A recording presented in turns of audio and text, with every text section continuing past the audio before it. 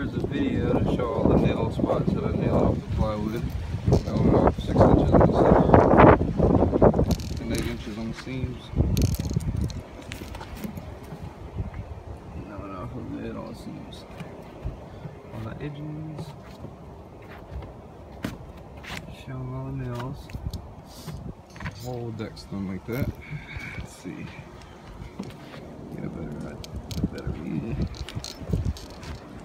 Seams nailed off.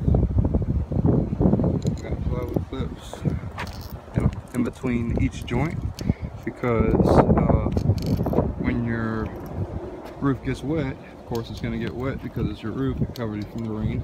Of course, wood when it gets wet, it tends to expand or in different temperatures, it will also expand and contract. And when you does when it does so, if you don't nail it down properly, or put the, the correct spacers in between your plywood and it looks like that. Then of course you're going to have a deck that's going to that's going to start buckling on you and you're going to have to end up taking it off eventually and it's going to look like garbage. I popped lines to show where every one of my rafters are. If I can show you the blue line I popped the line from top to bottom. That way I can nail off the plywood and make sure I hit all the seams and all the joints. And that'll be it.